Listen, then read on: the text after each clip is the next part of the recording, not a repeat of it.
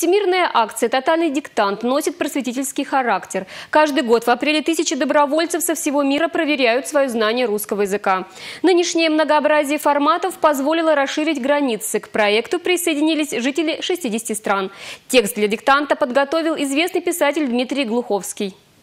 С учетом эпидемиологической обстановки в 2021 году на диктанте были задействованы различные форматы, лишь бы все желающие смогли принять участие. В нашей республике таковых набралось более 400 человек. В этом году автором текста стал писатель Дмитрий Глуховский. Сам текст разделили на пять частей. В нашем регионе диктовали третью часть. Ирина Иванова на площадке Национальной библиотеки читала диктант уже в третий раз. Сюжетную историю даже экранизировали, чтобы любители русского языка лучше прочувствовали ситуацию.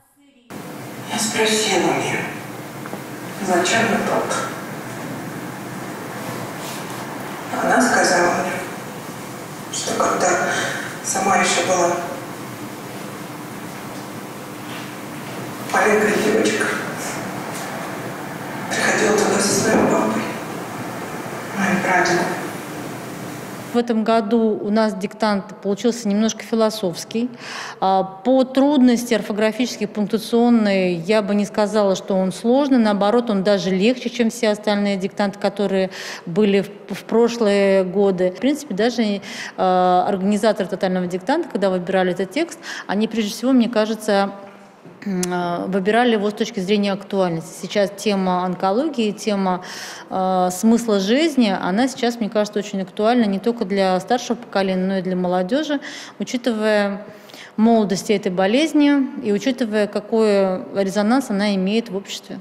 По словам Ирины Ивановой, в библиотеку чаще всего приходят грамотные читающие люди, так что и результат диктанта вполне предсказуем. Участвую не первый год, второй же. Мне кажется, дает это мероприятие нам повысить свою грамотность.